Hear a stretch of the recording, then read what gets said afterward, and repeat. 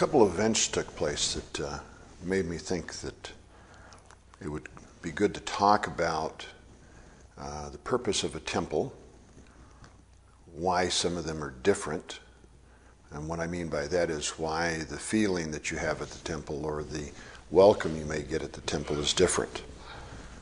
Um,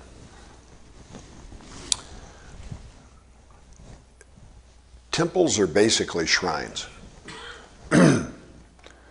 And um, the first thing that happens after the building is built is a shrine is usually built within it. And depending upon the tradition, the shrine can be relatively simple. It usually has a larger than life Buddha statue for the same reason that the Lincoln Memorial is very large. It gives you a, a feeling of grandeur. But it doesn't always have a larger than life, obviously, Buddha statue because our statues are not bigger than life, they're quite a bit smaller. And depending again on the tradition, it may become very elaborate, with a number of different Buddhas depicted and disciples and arahats, which are enlightened beings, and it just goes on and on and on. And this establishes the character of the temple because ultimately it is a shrine. And for this reason, when we come into the temple, we take off our shoes because this is uh, a practice that was borrowed from the Hindus, but it's also practiced in other religious traditions. It's very common anytime you're on holy ground or special ground that you remove your shoes. And so we have this custom in Buddhism that when you enter the temple proper, you're removing your shoes. And that's because you're entering a shrine. And because it's a shrine, it, it tends to establish the way people are treated at the shrine because people are looked at ultimately as pilgrims. Now, you have to understand, if you went to an ethnic temple and you said to them what I just said, they would have no idea what you were talking about because we have 2,500 years of tradition. and sometimes we forget why we do things. And by the same token, uh, it is a, an appropriate uh, place to teach the Buddha Dharma. What better place than a shrine to the historical Buddha? So you find his disciples there.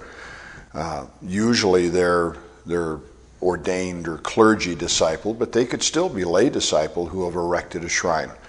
And throughout the history of Buddhism, uh, we've been shrine builders. There's little doubt about this. You, you, uh, every two or three years, you hear about um, some shrines that are now in lands that are completely controlled by another religion being destroyed. Um, but the shrines are very much, again, like the Lincoln Memorial or any other shrine you would build to a historical figure. And they become special just because of the remembrance of that, that historical figure. now, in the Buddha's day, of course, there were no shrines. There were buildings after a while that were put up to protect his followers from the, the elements, the rain, which was the primary thing that they had to deal with. Uh, it's not like the Great American Desert where they also have to deal with a lot of wind and a lot of dust. For the most part, it was a rain, and it wasn't a, uh, it wasn't a cold rain; it was a warm rain. But still, uh, it's a little distracting to be sitting in the rain for hours. Uh, it's hard to concentrate, and it does eventually uh, take some energy from you. So they built buildings to congregate in. They had uh, they used those buildings very often to eat, but a common thing was to go and to hear the Buddha talk or to hear one of his senior disciples talk. And so this coming together for Dharma talks was uh, well established 2,500 years ago. When the Buddha passed away, he told his followers not to build shrines. And he said, if you want to remember me, then simply take my begging bowl and set it on a table, set it on some kind of raised portion, and then you can remember me. And um, this was practiced for quite a while. Of course, there was only one begging bowl for the Buddhists, and he had disciples all over northern India. So when they would come together and they wanted to remember the Buddha, they would have a raised spot, which he sat on, by the way, so that he could be seen and he could be heard. And so he was sitting on this raised area so he could be seen and he could be heard by everyone in the crowd because huge crowds formed around him. And so now you have the beginnings of this um, shrine, this particular kind of shrine we have, because they would still have this place in remembrance of him, and someone would place a bowl there, and that bowl started taking on some power all its own, you know, because in the beginning, one week it was probably Fred's bowl, and the next week it was Bob's bowl, and the next week it was Susan's bowl. And then somebody said, well, you know, if we're going to put a bowl up there representing the Buddha, it should be the best of bowls, because that's the way we are as human beings. So it went from being anybody's bowl to being the best bowl they could find, because there was always a monk in charge of these bowls. Bowls were very important because the monks at that time went into town and begged their meals. And so they all had to have a bowl, and they would hold the bowl out, and food would be put in it. So I'm sure they dug through the pile. I don't know this for a fact. I may be making all this up. But I'm sure they dug through the pile and they found the nicest bowl in there and they set it up there. And as time passed, somebody, some layman probably, with a little bit of money said, you know, that's not a bad looking bowl, but we could make a better one. And so he went to a great artist and he had a beautiful bowl made that represented the Buddha. And you can see where we're going with this. Sooner or later, we built a statue. The Indians were great statue builders. Even in the Buddhist time, their country was strewn with statues of various gods and demigods. So, uh, the leap to that. Now, the Buddhist concern was that he did not get deified. That's mainly why he said, don't build a statue. He didn't want all of a sudden uh, to be turned into um, one of these sort of godmans type characters. He wanted everybody to remember that he was always a man. This is important to Buddhism, to remember that the Buddha was a man. Because everything he accomplished as a man becomes accessible to us. If we turn him into anything but a man, then we have a reason why it's not accessible to us. Because he was so very, very special, he was be able to see the true reality of life. He was able to stop suffering. He was able to control his emotions. But if he's a God, then of course we can't do these things because he was so very special. And the Buddha really was so very special because he was a man that did these things. And in turn, he turned around and he taught other people to do them. And he had many, many disciples that were enlightened, that were able to live what you would think of as the enlightened life, however you define that. They were able to do that. So I think his biggest concern when he said, Don't build a statue to me, is don't turn me into a god. And I always find it very interesting that the school, the the elders, the Theravada, which means elders, the great elders, um, who accuse the other school, the other big school, the Mahayana that we belong to, they accuse us of deifying the Buddha. And yet, in their school, by the time a few hundred years had passed, it became a recognized idea that there could only be one Buddha in an age. And an age was defined as a memory. In other words, if you could remember the Buddha, you were in the age of that Buddha. When that Buddha was completely forgotten, the age was over. So we're talking about a really long amount of time. And they said, well, there can only be one Buddha in one age. And when the Buddha is completely forgotten, then along will come another Buddha. There's a lot of people on earth. If we're all going to be reborn and recycled and, and we wait in line for our turn to be Buddha, we're talking about some pretty huge numbers when it comes to time. The Mahayana went off and did some different things and recognized a whole variety of Buddhas that were historical and non historical, but always maintained that kernel of an idea, that very important thing that everybody can become awakened. And in my way of thinking, the historical Buddha became deified in, in the Theravadan path because he became so much bigger than life that it wasn't possible for anybody to approach. Well, that's what we do with uh, people that we think are bigger than life, that ap- approach perfection. Uh, one of our ways of honoring them is to say, no, we could never be that good. And that's a great kind of humility. It, uh, you know, it's, it's not a bad thing, but unfortunately, it can become a limiting thing.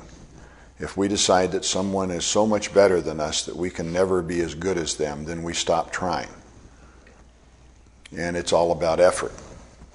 So, I say this because as we went through time, you must remember that a temple is a shrine.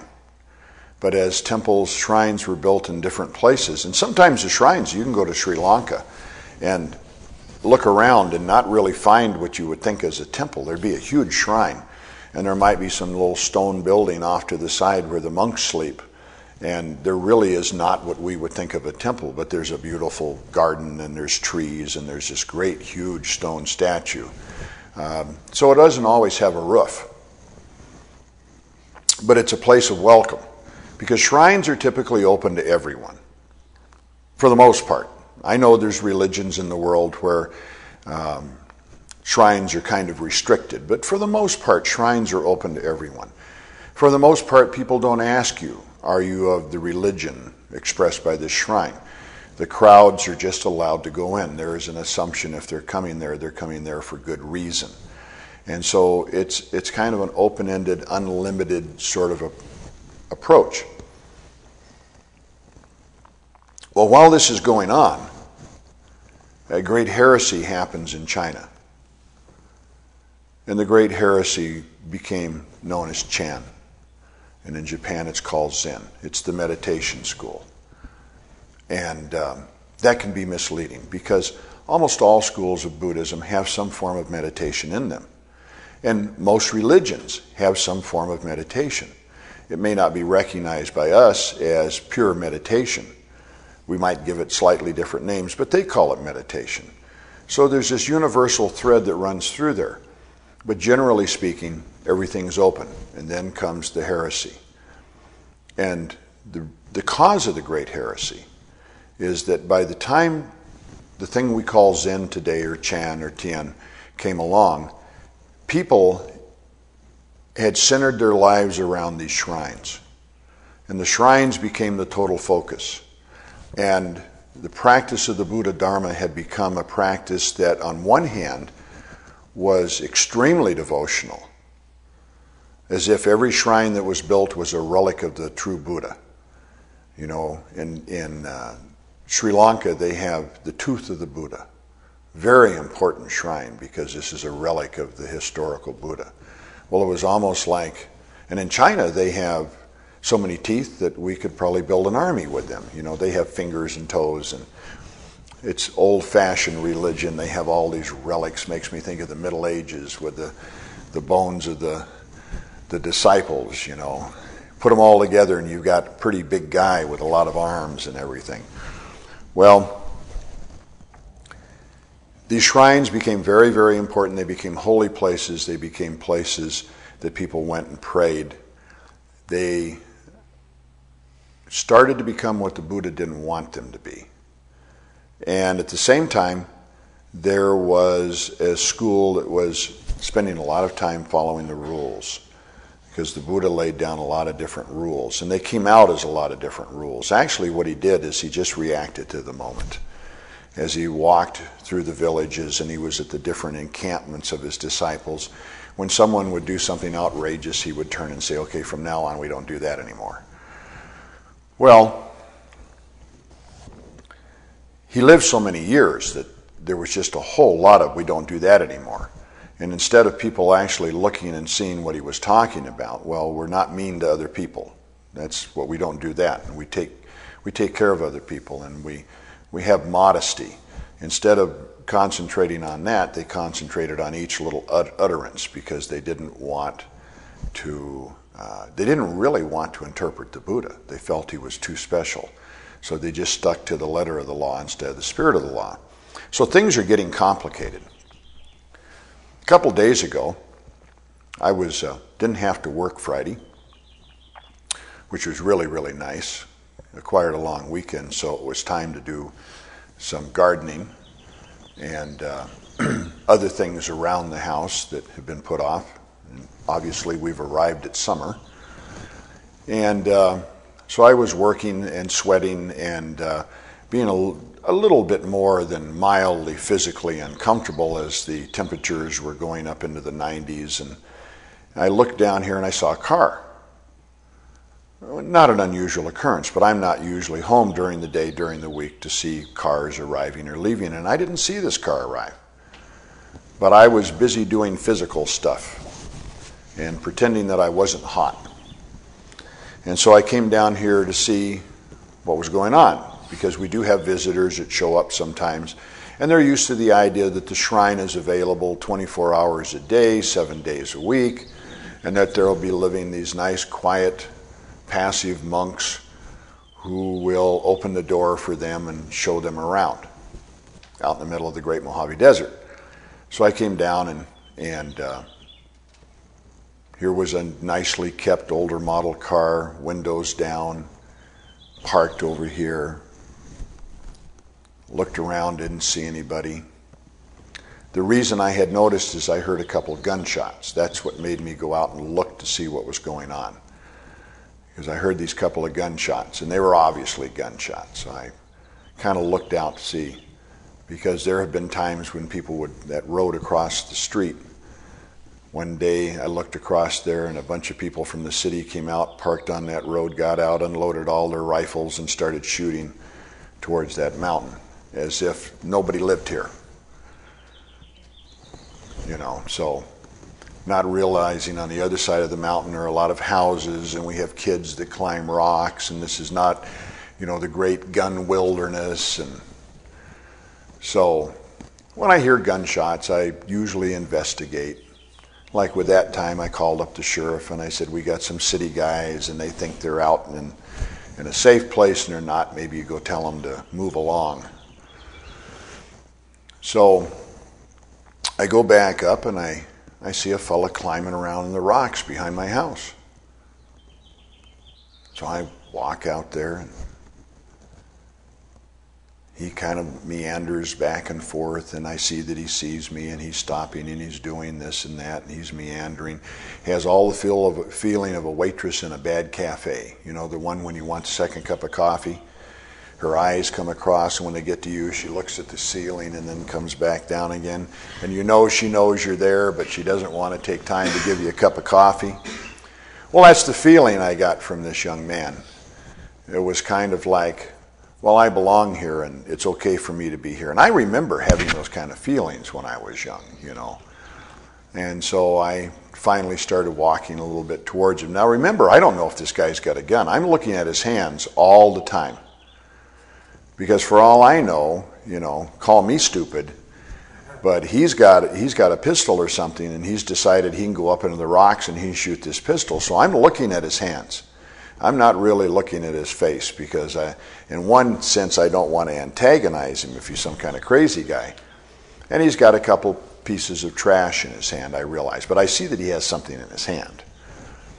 So I go up and I ask him what he's doing. And he gives he starts in very defensively telling me about how he goes around cleaning the desert and you know taking care of Mother Earth and all of this and and I said that's nice, but you're up behind somebody's house doing this. This is private property.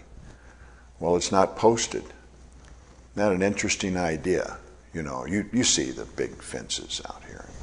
People post no trespassing. You know why they do that? They don't do it so much in, in California, but they do it in Texas for a reason because they'll shoot you if you're on posted land. Isn't that great? So he kept telling me, well, there wasn't a fence. And I went, well, you know, most people up here have two, three, five acres. It costs kind of a lot of money to put a fence up around their land. And I didn't want to get into any kind of philosophical discussion about generally fences were put up to keep things in, not keep people out. You know, you have a fence in Texas because you have cattle.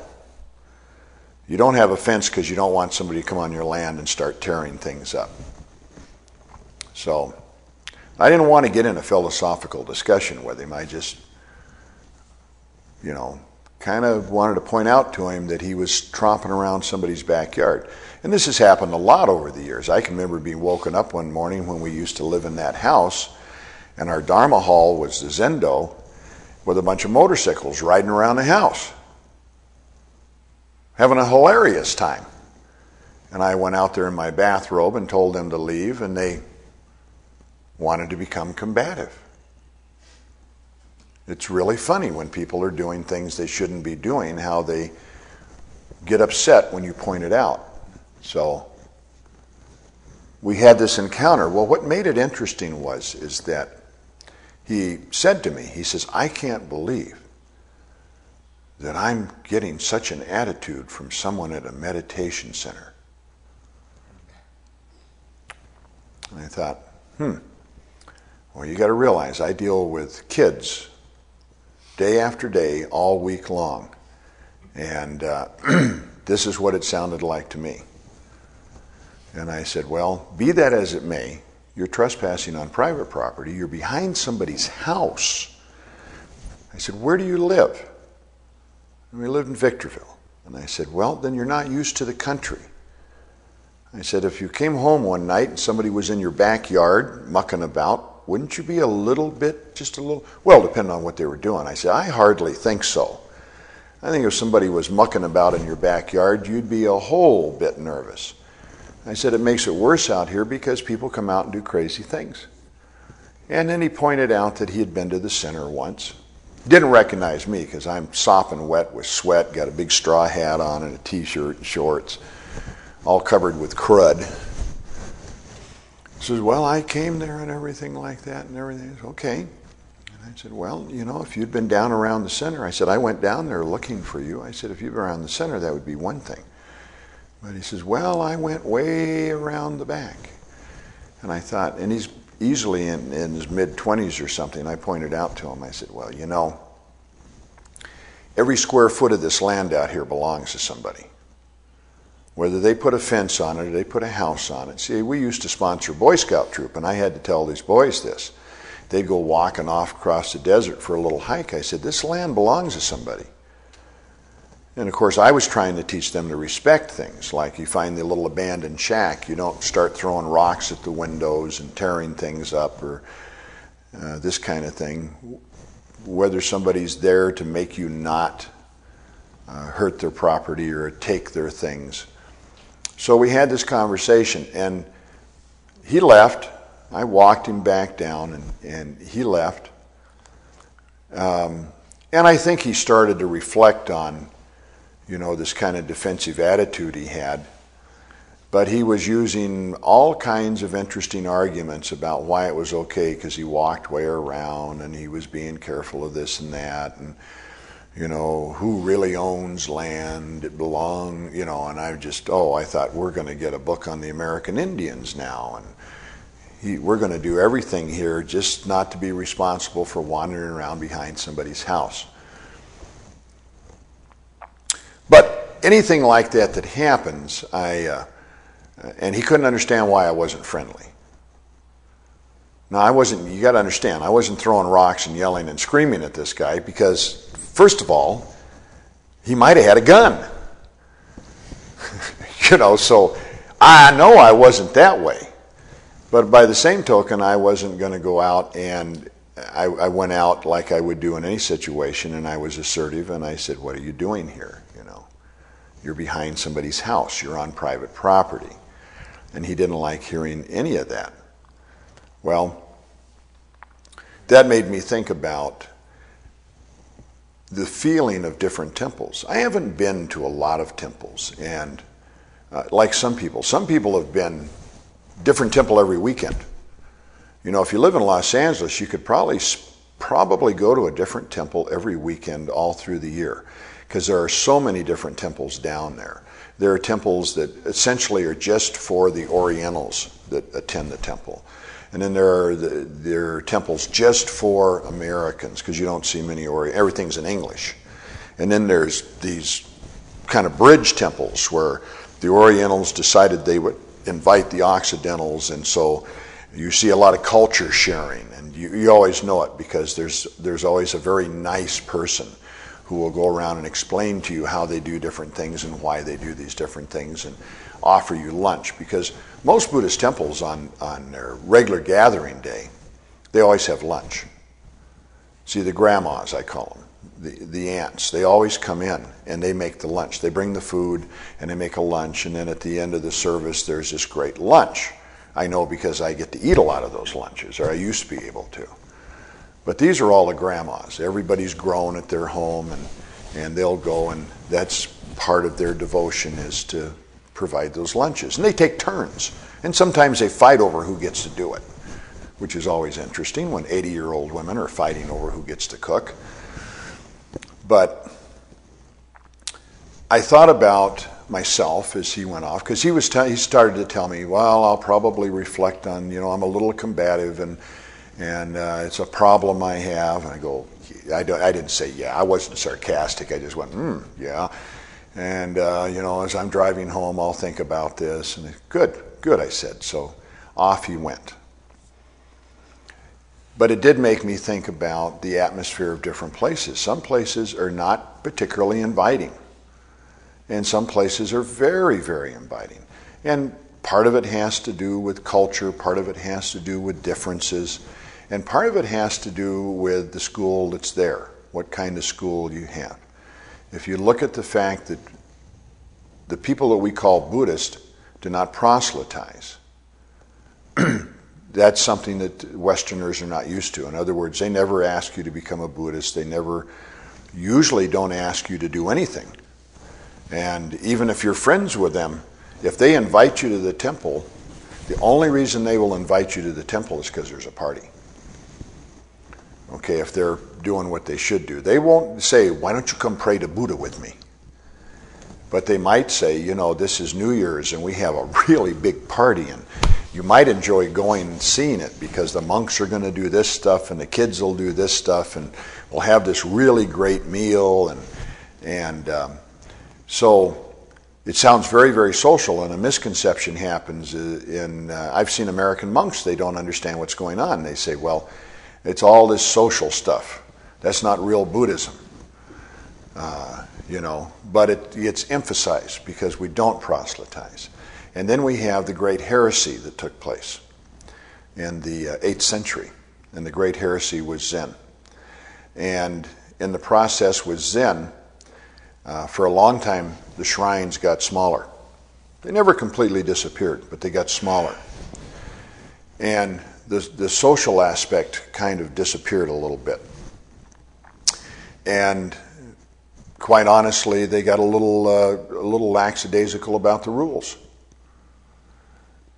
and it didn't look like Buddhism to a lot of people because there wasn't a big shrine of the Buddha. And they weren't having the big party. And so people were kind of going, What's going on here? Well, what was going on was a whole lot of meditation. And meditation's hard work. Half an hour of meditation's not hard work, but half a day of meditation's hard work. And when you have half a month of meditation, we definitely know that hard work has arrived. So that we, we get the story of Bodhidharma's successor coming to his mountain temple and trying to get in to study with Bodhidharma. This is a guy that's already a monk. He's got monk's robes on. He's standing at the gates of a temple and they won't let him in. Well, part of the reason they wouldn't let him in is because China in those days, out in the mountains, there were wild bands of bandits. And the Chinese bandits were pretty nasty. It didn't bother him at all to kill everybody as they robbed them. No witnesses, you know. Just kind of, of course, they, they had this terror. I'm sure that part of it was that people would be so afraid when they saw these bandits that they'd just give them everything they had. So here this guy is standing at the gate trying to get in, trying to get in, trying to get in. Stands there for days in the snow and finally cuts his arm off to show his sincerity. What an extremely violent act. It's so violent that nowadays people change the story. I've even done it myself. Well, maybe he didn't do that. I read one account where he broke his arm getting in the gate. I always felt that was probably just trying to soften that story. Such an extreme violence to oneself. And then went stood by Bodhidharma. Now, think about this amputee standing by Bodhidharma. Either this guy was a total maniac, or things were exaggerated. But who knows? Because, like I said, these Chinese bandits, we know without a doubt that they would go in and they'd kill half the people in a village. They just cut their head off. So he goes in there, and Bodhidharma won't even pay attention to him. And that's the gist of the story. Finally, they have an encounter where he has an awakening, and now he is allowed in. But for a long time, he stands there trying to convince Bodhidharma that there's even a reason why Bodhidharma should talk to him.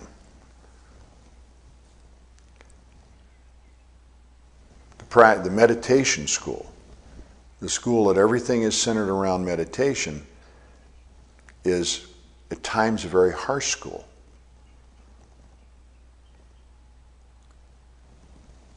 And it's a harsh school because a lot of people play games with themselves. And the silliest thing in the world to say is, we don't need to do it that way because we're modern. We don't have to follow the rules because we're better. We don't have to do this. See, I've lived all my life hearing this. I've heard Americans say, we don't need to do that because we're Americans. We don't need to follow that rule because we know better. We don't have to watch our actions and our speech and our mind because, hey, those people had problems. We don't have them. All you have to do is read the newspaper, watch the television, we are not any better 2,500 years later than the people that sat around the Buddha. We don't have any more control over our emotions. We don't have any more control over our violence than people had back then. this revolutionary school that started in China, part of, part of what was going on was a recognition that a lot of people just mess around they don't take the practice seriously. Now, we're not talking about a fanatical practice. We're talking about doing a lot of meditation and being responsible for yourself. And to be responsible for yourself is to be very, very honest about what's going on. That honesty may be that you have to be honest that while you're supposed to be meditating, you're sleeping. While you're supposed to be meditating, you're daydreaming it may be something that simple, that straightforward, something that probably nobody else knows except you, but the practice is for you. You're doing this practice for yourself. You're not doing it for anybody else. When I meet someone that said, and we, a few years ago, we had, oh, any number of people training here to become priests or monks, nuns. And uh, some of those went on and, and they are in other places and they're doing the work and they're teaching people to meditate and they're teaching people the Dharma. And some of those people decided, well, it just wasn't for them. This wasn't what they want to do, and that's perfectly fine. But very important aspect of this is this honesty. And meditation requires an enormous amount of honesty if you're going to make any progress. And what I mean by progress is if you're going to move towards being enlightened and being happy in life. Because enlightenment is being happy in life. That's what it is. Enlightenment is not being able to, with your mind, lift a building and move it from one spot to another, or kill a bird on the wing by looking at it and putting a hex on it. Enlightenment is knowing your true nature and by knowing your true nature, you know the true nature of all things. Enlightenment is dead simple, but it's extremely hard because we play games with ourselves all the time. We make excuses with ourselves all the time. And you know that because anytime you say, yes, but, you're making an excuse. Anytime you have to justify why you did something, and everybody does it you know, and we think, well, we had perfectly good cause to become angry. We had perfectly good cause to say the things we said. We had perfectly good cause because this other person or persons did these things. So it's a yes, but. Zen came along and said, we're not even going to play this game. And the Chinese, and I kind of told that story to give you a feeling, Chinese are not touchy feely people Indians are touchy feely people. The Buddha was a touchy feely person. Chinese were, were not. They didn't worry about your self image. They didn't pat you on the shoulder so you'd feel better about yourself. And so now you've got the toughest of the tough, and they're running these temples, and these temples aren't even really functioning as a shrine anymore. And they build them on the side of mountains where you can, you know, you have to travel for days, sometimes weeks to get to them. They made them as inaccessible as possible because they didn't want any tourists.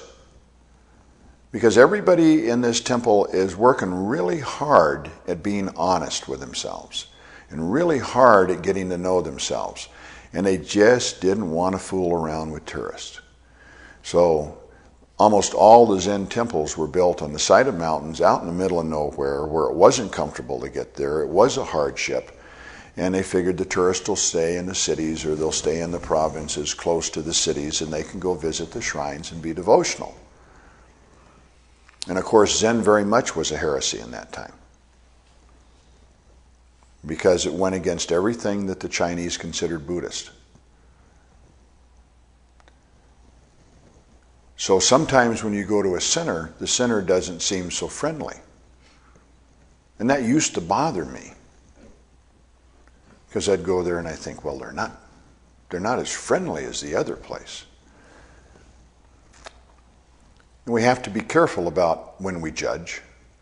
But I'd like to think that sometimes they're not as friendly as the other place because they're very busy trying to be honest and trying to work hard on the self. And sometimes they get a little bit impatient with tourists. Now, we try to be really friendly here, don't get me wrong. But I had to think about that when he said, Well, I can't believe that someone from a meditation center would be combative. As I'm checking his hands for a gun, you know. And I told him that. I said, I heard gunshots. And I started looking around.